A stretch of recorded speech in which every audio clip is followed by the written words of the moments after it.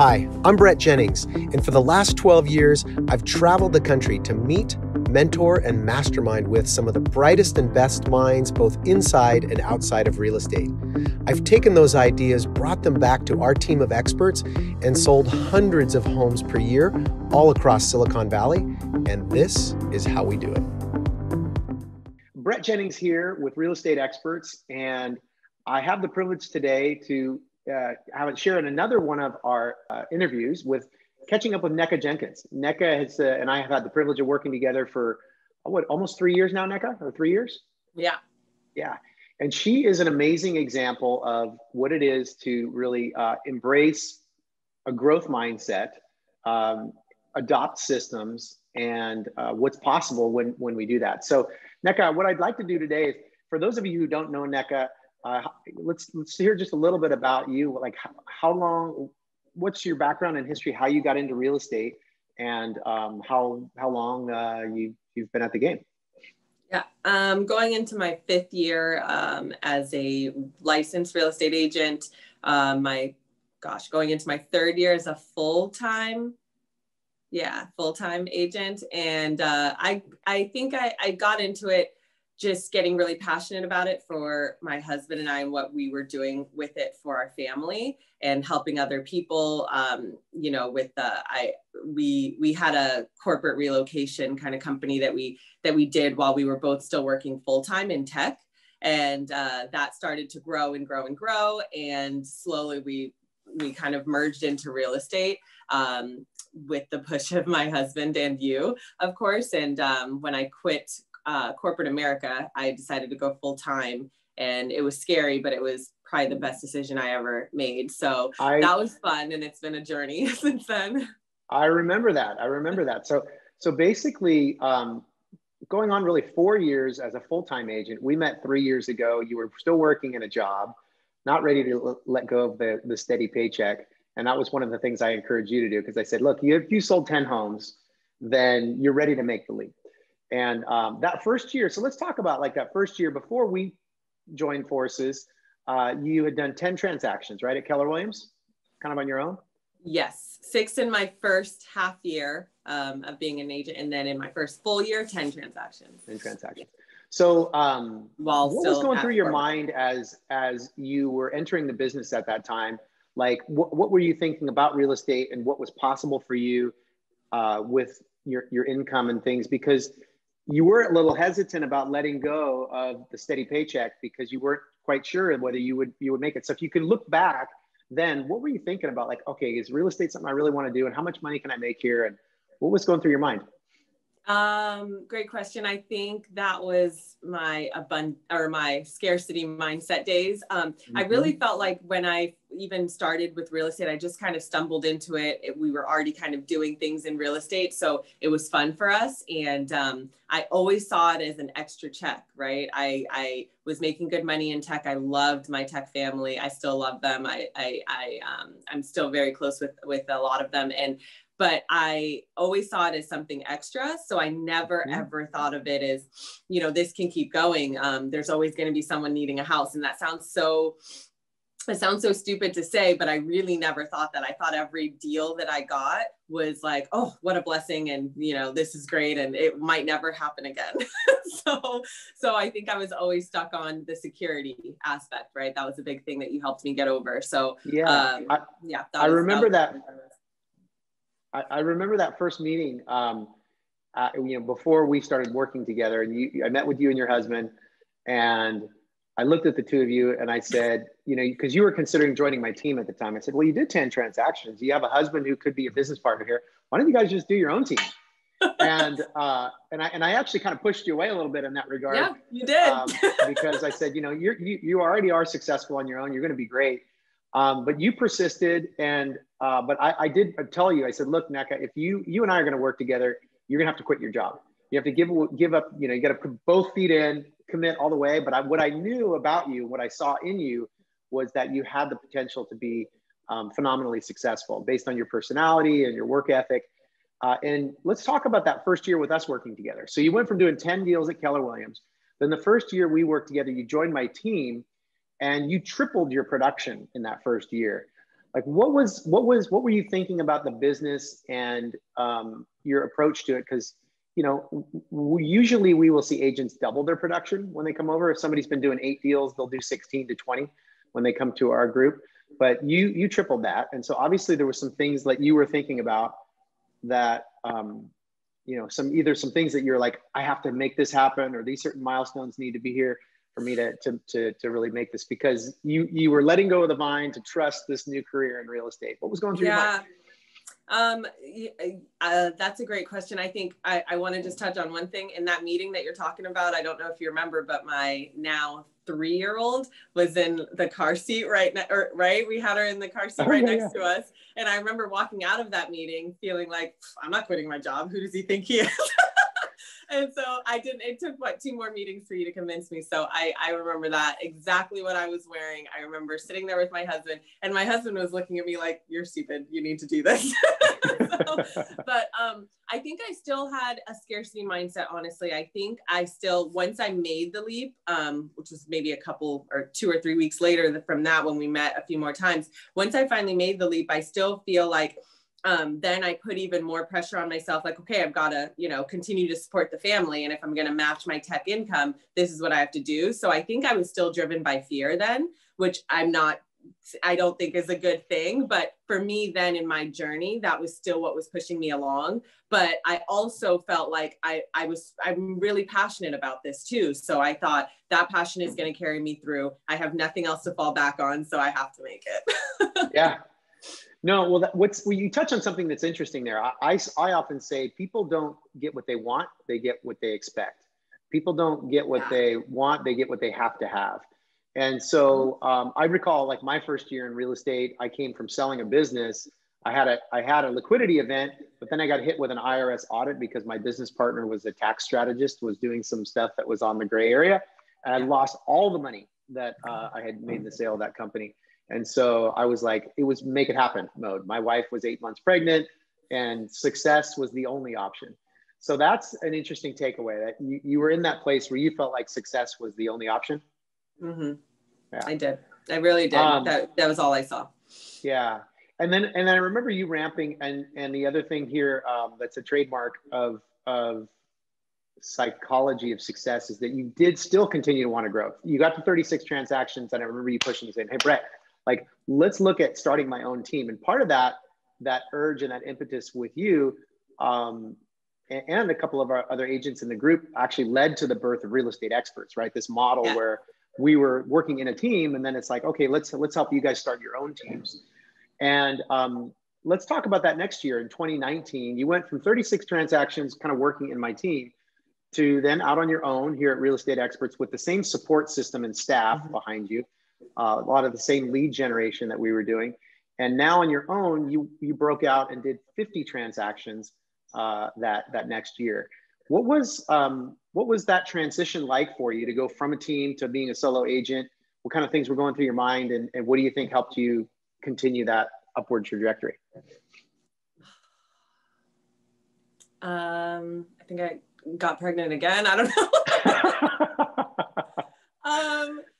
I don't, I think slowly, I, I really don't know when I forced myself to adopt this abundant life or abundant mentality, um, abundant mindset, I should say. But I think just slowly I started realizing, okay, all of these transactions, these families that I'm able to help are complete blessings. And I'm going to continue to receive those blessings. I think I was open to receiving more instead of constantly having that, you know, transaction and helping that family and being so happy and literally thinking that could be my last one, wonder what I'm going to do next. Um, I started inviting it in and um, accepting it, if that makes sense. Like, like, yeah. like you said, expecting it, but also receiving it and enjoying it instead of literally thinking it's futile and I'm going to be, you know, broken on the street the next day.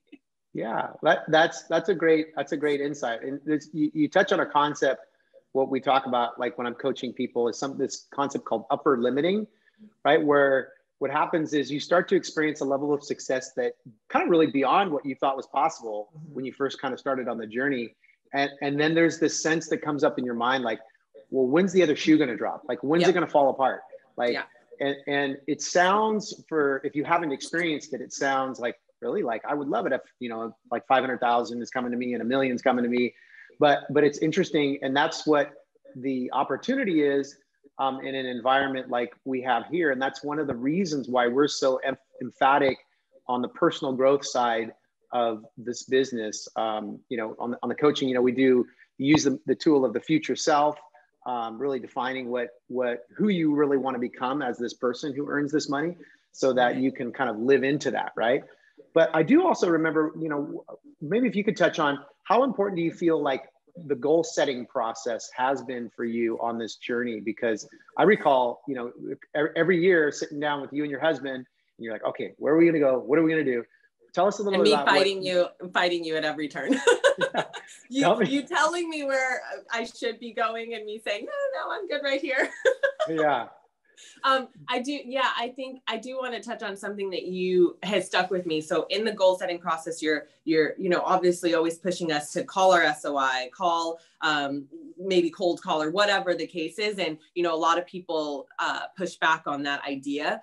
And you said a long time ago, probably said it a lot better than I'm about to say it, but you basically said instead of thinking of it like you're annoying these people or bugging these people, why don't you think of it as I have a value proposition? I, I have value that I, I want to share with you. And if you're in the space where you're ready to sell or buy or invest in something, I, I have the tools and I'm capable of helping you. And that really stuck with me because I think even without real estate in general with friends family and all that i'm uh, you know i'm the type of person where i don't want to burden them right? I don't want them to feel like i'm bothering them or you know putting my putting anything of me on them. And so with real estate when i'm calling or wh- whether it's my soi or um, or you know people referrals i'm going into it realizing i have a value. I have i have information that i'd love to share. I have a story of sorry there's something in the office.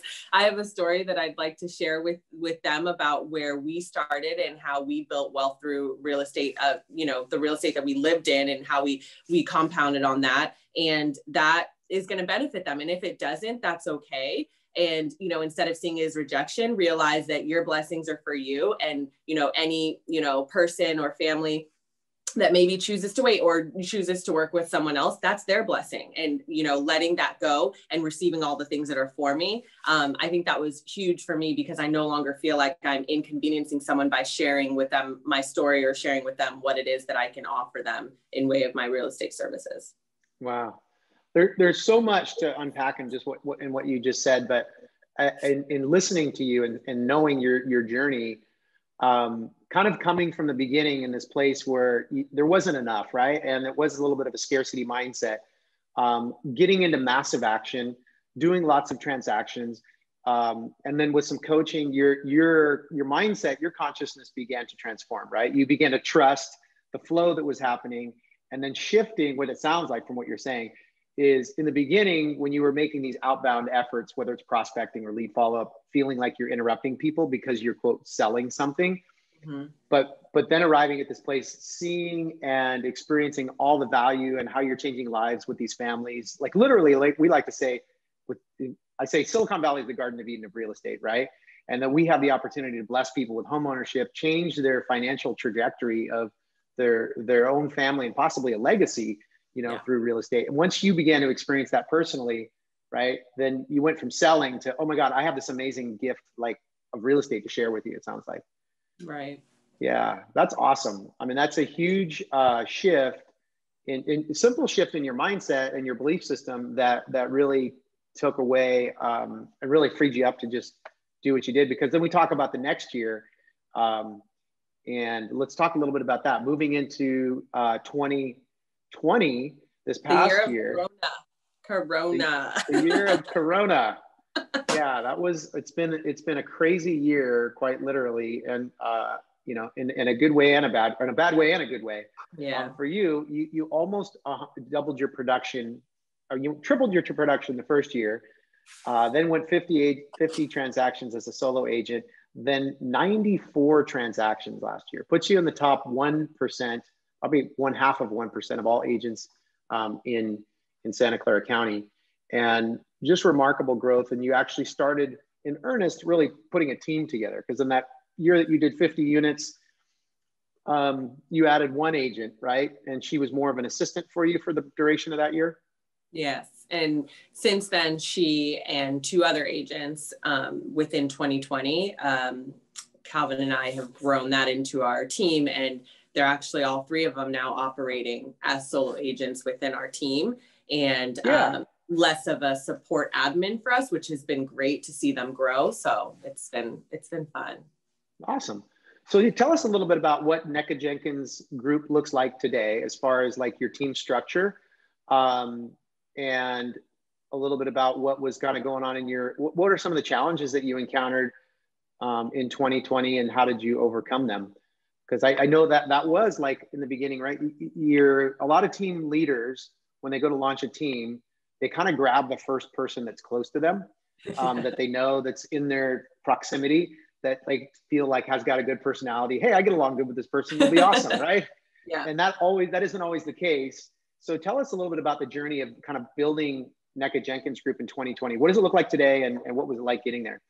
Yeah. So today it looks like my husband officially quit. I think it's a year and a half now. His corporate job, so he runs the company with me. Um, and oops, sorry about that. He runs the company with me, and uh, we've we've had our own personal assistant for a little over two years, um, maybe just around two years, and then we actually just brought on a um, another assistant who is more of our real estate assistant, um, also a little bit of personal assistant, but they're both our executive assistants, and so they help us. One is in the office daily, the other one kind of works mostly remote and a lot of running around, and um, and then we have um, our three buyers agents that are doing really really well. Um, i'm very very happy with uh, their growth. It's it's cool to see. I see what you've seen for so long with the people you brought along and now it's it's cool to see um, them you know grow as much as they have on my team.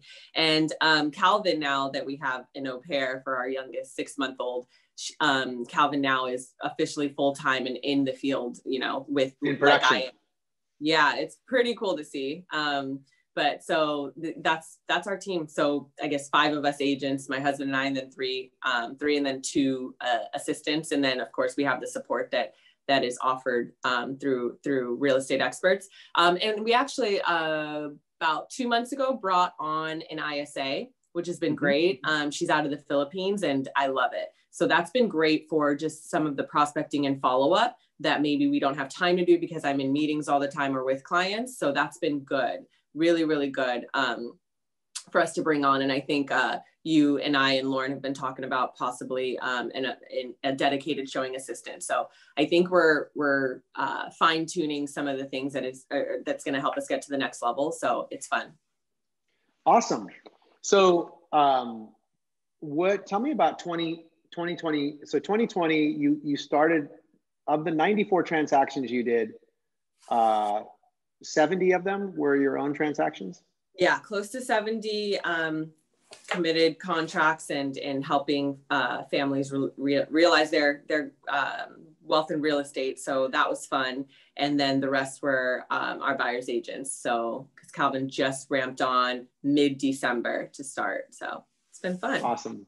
Yeah. So, so the bulk of the transactions in 2020 were done by you. Really, the team members that came on didn't really get into production until probably the third quarter of this year. Yeah. Right? Great question. So they've been part of the team, all three of them. Um, one of them about a year, but the other two less than um, less than half of 2020. And so probably by Q3, end of Q3 and Q4, they really started to ramp up. So ramp. I think. And so let's yeah. so let's let's talk about 2021. What do you think is possible? Now, um, you did 70 transactions personally, okay, in, in 2020. Now, in 2021, we just were talking before we jumped on here. How many transactions um, have you guys put into escrow? We're only two weeks into the year. How many transactions have you guys put into escrow? As of yesterday, um, oh, I told you five before, but yeah. actually it's seven. So as of yesterday, five new contracts, but I just ratified two sellers. So seven new contracts. Seven new contracts and of those, um, so of those, so two sellers and one buyer for yourself. Um, no, two buyers and two sellers for me, and then two transactions for Laura, and Robin had one, and Aiden's probably about to get a couple in. So that makes up the seven. Yeah. So um, we're seven transactions. We're two weeks in. Uh, at, at, that pace of, of sales, I think you're going to end up with at least 150 transactions. Um, what do you think is possible for 2021? What's the goal? Yeah, great question. Um, you know, September was a highlight. Um, I honestly don't remember what October, November, December were, but September was a highlight because it was our first really, really big month. We closed 19.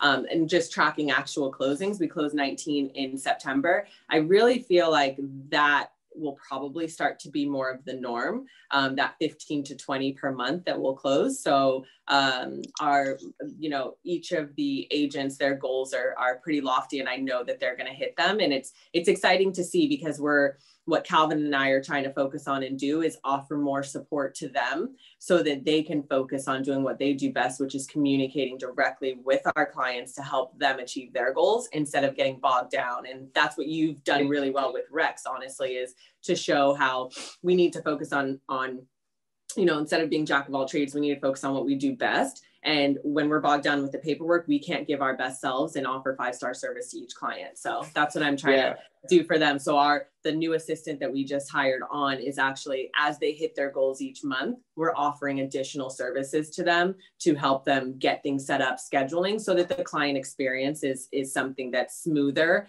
and um, more fun because it's so stressful to be a first time buyer or even a third time buyer and all the changes that are happening because of Corona and the lending differences and all of that that that for us to create such a smooth transaction for them even before they're in escrow that's something that is really important to me. So that, that's awesome. So it's it, it's about doing more deals but also doing it without compromising the level of service or support that you provide for your clients. I think that comes up for a lot of agents and they go oh you know they look at they maybe look at us from afar like oh those guys do lots lots of deals and maybe that's like they're they're not that great with their clients. But mm-hmm. if you read our reviews right we have over 500 five star reviews you know uh, we have the highest consumer experience score uh, in out, of 100 teams across the country with zillow and um, we're doing that because of that focus that you're talking about but um, so, so what's the goal then? Somewhere between 15 and 20 transactions a month? Are you, are you, yeah, you always try to pin me down. I never like to say, you know, I'll be honest, it's going to be 150 plus, right? So I think I 150 the- plus is more than doable. And yes. so, I mean, at 94 transactions, you hit 2 million in, in gross commission income this last year. So I think, uh, you know, you're going to be well above 3 million uh, and on your way to four. So it's super exciting to see um, in just this short 36 months, uh, this trajectory that, that you've, you've, you've experienced. And just to, to share with people kind of, just to give you a recap, of Nneka's success, this is what it looks like. Um, she has gone taking a, taking a predictable process or path that we've created together at Real Estate Experts, gone from this 10 deals in 2017 to 36 in 2018, 50 in 2019, 94 in 2020, over 2 million in, in commissions. And uh, I just wanted to thank you for um, just being willing to be coachable, to surrender your limiting beliefs, you know, every step of the way as we kind of try to push you up one, one more notch up the mountain. And uh, yeah, and, and just being a great ex- example of what's possible for other people. Because you, you, whether you know it or not, you're inspiring others to succeed. Uh, so it's just awesome to, awesome to see. So, um, yeah, any any thoughts in closing, Nneka, for for new people who you know are wanting to go to the next level in their business? Um, you know, one or two things that they should be thinking about or focusing on? Uh, yes.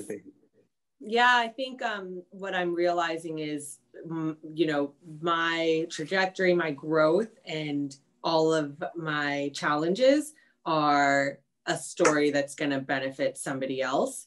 And I really challenge someone out there that is feeling like they've got all these excuses or reasons why something can't happen, but they know they want something. I, I would love to talk to them because I think I'm I'm barely out of that whole scarcity mindset, right? So it's really fun for me to show people all of my challenges and you know emotionally mentally and you know literally what i've gone through um, and whether they want what i'm striving to achieve or something in between there. Um, I think the first battle is tackling your mindset. And so I, I, I'm really passionate about not only helping families really re- realize their their uh, you know potential for wealth in real estate but also agents you know that are interested in growing in this way. Um, I, I really would love to do that. So anyone out there that's listening to this and it resonates with them on where they are where they were where they want to go um, i welcome you to reach out and i would love to chat with you Nneka Jenkins Group is growing, and she's an amazing leader, and and uh, she inspires you. Definitely reach out. What's a good way for people to get in touch? Um, go to my new website that's launching that has a link to everything. It's uh, um, thejenkins.co the jenkins.co. Um, and then Instagram is always great too. It's at Homes by Nneka, H O M E S B Y N N E K A. Awesome.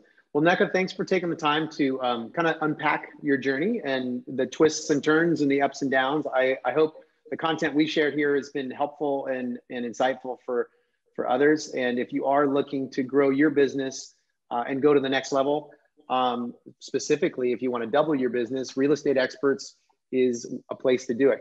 Feel free to uh, click on the links to either join one of our upcoming masterminds, uh, or if you want a personal one on one session to, to, unpack kind of the opportunities in your business, I'll sit down with you. Um, if you are committed to growing your business and, and let you know whether we work together or not, uh, where I could see your best opportunities might lie. So until we talk again, uh, it's Nneka Jenkins and Brett Jennings saying, don't just be an agent, be the expert. Thanks, guys. Have a great one.